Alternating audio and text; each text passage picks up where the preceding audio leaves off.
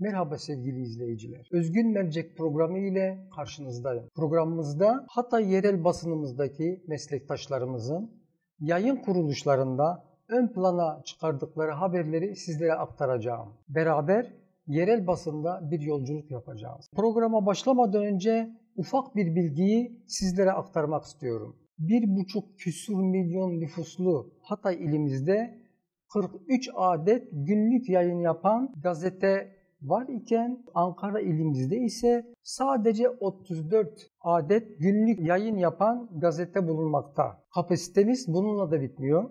İlimizde haftalık yayın yapan gazete sayısı 29. Aylık yayın yapan dergi sayısı 8. Radyo sayısı 12. Televizyon sayımız ise 4. İlimizde nüfusumuza oranla Türkiye ortalamalarına göre epey abartılı sayıda medya kuruluş yer almakta. Sebep vasıflı vasıfsız olunmasına bakılmaksızın sadece bir dilekçe ile yerel gazete kurulabilmesi. Bu konuda yasal düzenleme şart. Bu ayrıntıyı bir tarafa koyup meslektaşlarımızın ele aldığı haberlere bir göz atalım.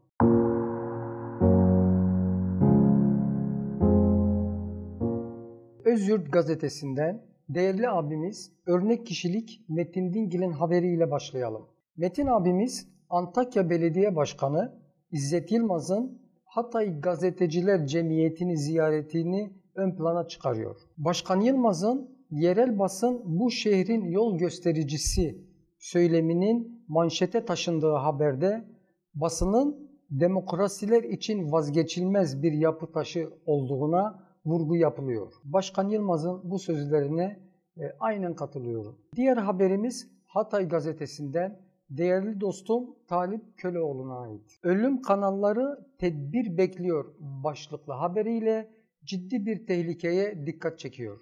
Kırıkhan ilçesi Gölbaşı mahallesinde bulunan sulama kanallarının adeta ölüm saçtığının belirtildiği haberde yerleşim alanları içerisinde yer alan kanallarda çocuklarını kaybeden ailelerin feryatları ve yetkililerden bu soruna çözüm istekleri yer almakta. Bence de yetkililer bu sorunu bir an önce çözmeli, oradaki ölümler sona ermeli. Pandemi sürecindeki tedbirsizliklere dikkat çekici haberimiz de Hatay Express gazetesinden başarılı kalem Gökhan Aklan'dan geldi. Gökhan kardeşimiz rehavete mi kapıldık başlığıyla semt pazarlarında uyarı levhalarına rağmen satıcı ve vatandaşların çoğunluğunun maske takmadığına, sosyal mesafeye uymadığına dikkat çekiyor. Haberde ayrıca koronavirüs salgınının tamamen bitmiş gibi kuralların ciddiye alınmadığı belirtiliyor. Evet, yüzyılın kabusu içindeyiz ve maalesef bazı kesimler bu kabusu pek de ciddiye almıyor. Pandemi sona erene kadar lütfen tedbirlere mutlaka uyalım. Yine Özyurt gazetesinden değerli dostum, komşum Veysel Savaş'ın haberiyle devam edelim. Bu çocuklar bugün kalem tutmaz ise yarın silah tutacak başlıklı haberinde ilimizde barınan Suriyelilerle ilgili bir tehlikeye dikkat çekiyor. Hatay Büyükşehir Belediye Başkanı Lütfü Savaş'ın bu konudaki endişelerinin yer aldığı haberde Suriyelilerin kalabalık bir şekilde aynı evde yaşadığına, çocuklarının ellerinin kalem tutmadığına vurgu yapılıyor. Haberde sığınmacı çocuklara kalem tutturulmazsa yarın silah tutacaklarına, esrar, eroin, uyuşturucu satacaklarına değiniliyor. Bugünkü son haberimiz Anadolu Ajansı'ndan Erdal Türkoğlu'na ait.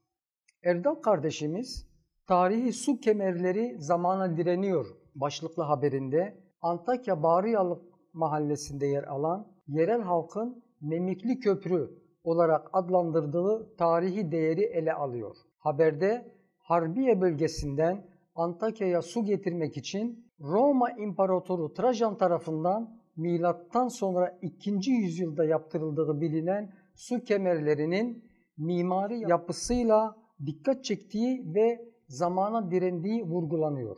Haberde ayrıca bu değerimizin restore edilerek turizme kazandırılmasının önemi de vurgulanıyor. Anılan yeri gidip gördünüz mü bilmiyorum ama tamamen içler acısı bir durumda. Kemerin altına çok sayıda çöp bidonu yerleştirilirken tarihe adeta bir çöplük muamelesi gösteriliyor. Koruma altına alınması gereken kemerin üst tarafı hangi akla hizmetse asfaltlandı ve motorlu araçların geçiş güzergahı haline getirildi. Anlayacağınız yüzyıllar önce suyun geçtiği yerden günümüzde motorlu araçlar geçmekte. Tarihi değere gösterilen bu muamele İmparator Trajan'ın kemiklerini sızlatıyordur. Programın sonunda lafım etkili ve yetkililere. Emekliler 1500 lira maaşın ezikliğini yaşarken her afette yardım kampanyası düzenleyip IBAN numarası vererek vatandaşlardan para toplarken emeklilikte yaşa takılanlara ekonomiye yük denilerek ölmelerine kısa bir süre kala emeklilik hakkı verirken 5 milyon üniversite öğrencisi kredi yurtlar kurumuna olan borçları altında inim inim inlerken okullara, hastanelere ödenek yokluğu bahanesiyle en çok lazım olduğu zamanda temizlik görevlisi takviyesi yapmazken sözleşmeli denilen modern kölelik sisteminde ısrar ederken çöpten beslenen vatandaşları görmezden gelirken Somali'ye 30 milyon dolar hibe verilmesini anlamakta hakikaten güçlük çekiyorum. Gelecek programda görüşmek dileğiyle. Huzurla kalın, sağlıcakla kalın.